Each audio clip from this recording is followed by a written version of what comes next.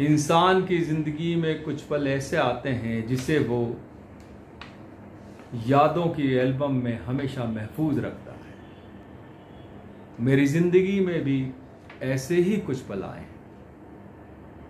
एक पल वो था जब मुझे सम्मानित नागरिकता अमेरिका ने दी थी। जब मेरा सम्मान हुआ था और वहाँ की नागरिकता मुझे दी गई थी।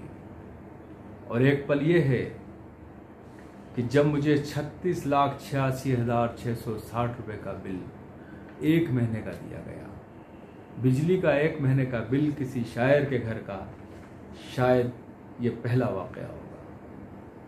कोविड नाइन्टीन और लॉकडाउन के वजह से कलमकारों, शायरों, साहित्यकारों और कवियों के कलम की स्याही सूख चुकी है।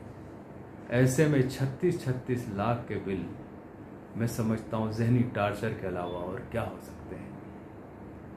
वज़ीर अला ध्यान दें। इस तरह की नाइंसाफ़ियाँ इंसान की ज़िंदगियाँ भी ले सकती हैं। बिजली विभाग से बहुत शिकायतें हैं मध्य प्रदेश और ख़ासतौर से भोपाल वालों की। लोग परेशान हैं।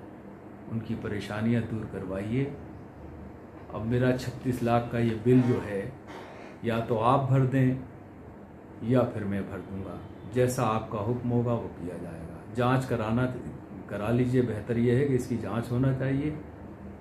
और जो लोग इसके ज़िम्मेदार हैं, जिन्होंने गैर ज़िम्मेदारी का सबूत दिया है, उनके खिलाफ कार्रवाई भी हो तो बेहतर है।